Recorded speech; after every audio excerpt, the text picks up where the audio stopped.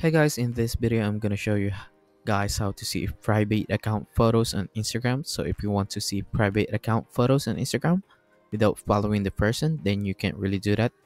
There are a couple working rounds that I'll show you, but there isn't any website or app that can actually show you private accounts.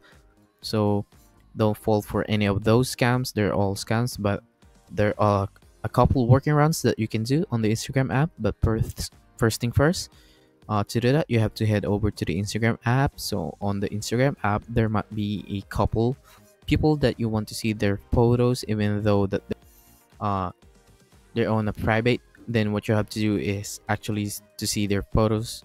And the first thing that you can do is just request to follow them. And nine times out of ten, they'll just accept your request, and then you'll be able to see their photos. So you just do that by going to their profile and then requesting to follow now I realize realize that some of you guys don't want to do this because it'll send them a notification, but you don't really have to think about it too much. Just send it and they'll probably accept it.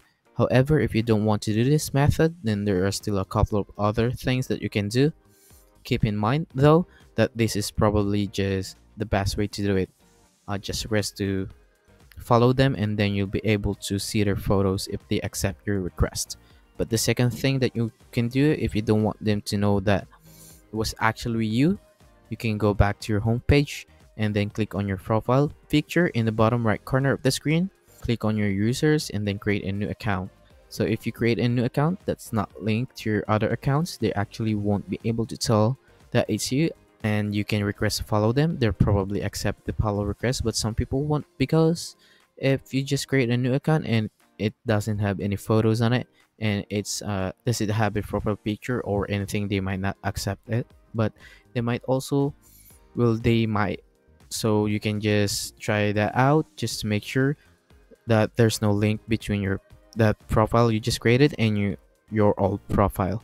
But as you can see here the best way to actually do it is just to request to follow them but the third way to do it is you can actually ask a friend who's already following them what their photos look like so you can just ask them to send a screenshot on it and and you will be able to see all the photos.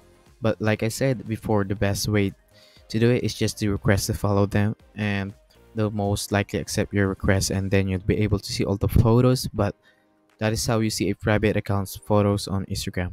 So i hope this video was helpful. If it was i'd really appreciate a like subscribe leave any questions you have you have in the comment section below. I'll do my best to answer them all. And thanks for watching.